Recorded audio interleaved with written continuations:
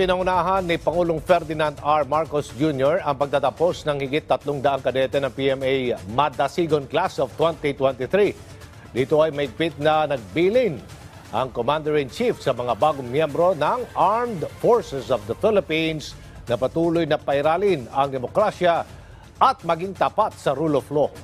Ang Sandro Balita mula kay Glory Balegan ng PTV Cordillera. As you join the military's ranks, continue to fuel your undying commitment to genuine love for country and for public service. In all your tasks, diligently work for unity, respect for democratic ideals, institutions and mechanisms, and the rule of law.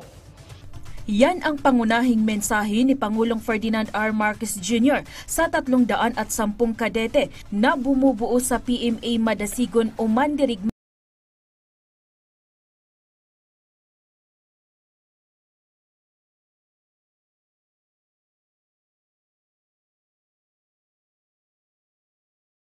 of the Philippines. Ipinahayag niya ang kanyang mainit na pagbati sa mga bagong opisyal na magiging karagdagang puwersa ng sandatahang lakas. 238 sa kanila ay mga lalaki, habang 72 naman ang babae. 158 ang papasok sa Philippine Army, 77 sa Philippine Navy, habang 75 naman sa Philippine Air Force. Ayon sa Pangulo, bukas siya sa pagkikipagtrabaho sa bagong graduates sa pagbuo ng mas matibay at malakas na republika. Live up to the precepts that define your class identity, namely honor, excellence, and ability to recover, and help lead our nation towards the progressive and prosperous future that we all aspire for. Ibinalita rin ng Commander-in-Chief sa mga bagong sundalo ang isinusulong na modernisasyon at pagpapalakas sa AFP. Kasunod ito ng pagpirma sa bagong batas na nag-amyenda sa RA 11709 para sa fixed term ng senior officers.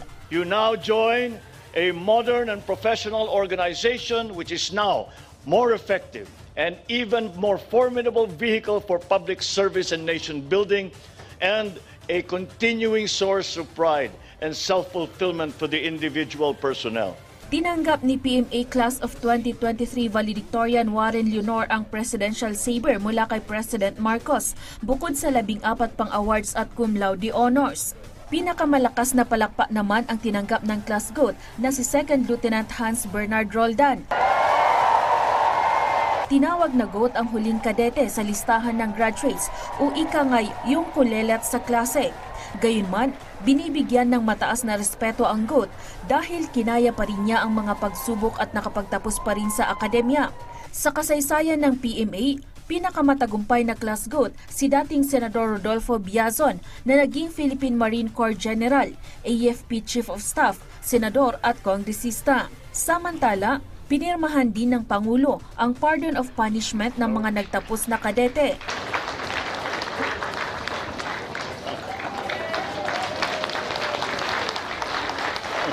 Matapos ang dalawang taon na hindi nakauwi sa kani-kanilang pamilya ang mga kadete dahil sa pandemya, nakalabas na rin sila sa PMA kasunod ng kanilang graduation rights.